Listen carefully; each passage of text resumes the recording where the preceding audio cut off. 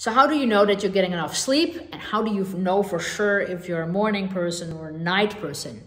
Because if you're not getting enough sleep, you are probably maybe saying that you're a morning person. That's actually not true. So first of all, how do you know that you're getting enough sleep? Well, first of all, you need to sleep between seven to nine hours a night. And that is true for everyone if you want to be able to maximize your learning, your emotion regulation, and things like that. So seven to nine hours of sleep, which means that two third of us are actually sleep deprived. And that's a problem. The second thing is we need to be able to wake up in the morning without using an alarm. That is a key, key, key, key, key indicator whether or not you're getting enough sleep.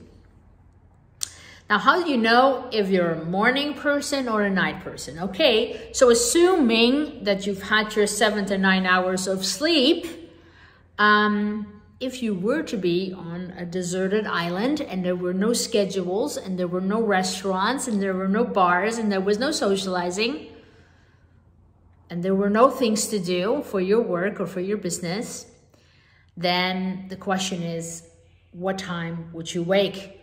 Would you do maybe sunrise, sunset?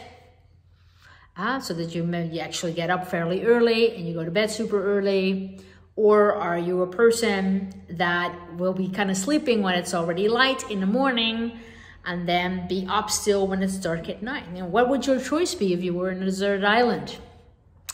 And that says a little bit about if you're a morning person or a night person.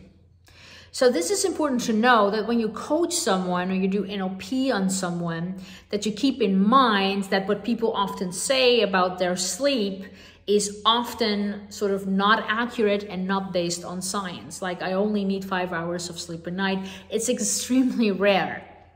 And also when you're coaching people, then you need to keep in mind that almost all coaching is completely useless if someone is chronically sleep deprived, not regulating their emotions, not having the proper thoughts, not being able to properly focus, um, all those different things that are hugely important. And a lack of sleep can be an indicator of too much stress and too much anxiety and too much worry. So you need to keep that in mind that no matter how much you coach, it could be useless. And a lot of people don't actually know that for those of us who are getting up early to work out, but we sacrifice sleep to doing it, it's completely counterproductive. We need sleep. Sleep is tied to our positive emotions, emotion, negative emotion regulation, to our insulin levels for diabetes, our heart rate, whether or not we're going to age gracefully or not. There are so many benefits to sleep.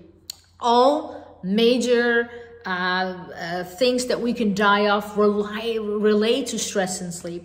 That's why, if I haven't already, I'm releasing a series of products for coaching and self coaching uh, later this summer on sleep, anxiety, worry, and stress. And so, visit the website, be sure to check us out. Send me an email if you want to know if these products are live already or when they are going to go live, I'd be happy to keep you in the loop. See you around.